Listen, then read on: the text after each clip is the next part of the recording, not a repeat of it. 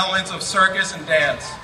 It is, uh, they make a way of living by performing these, and it's taken them to more than 20 countries, including Europe, give it up, North America,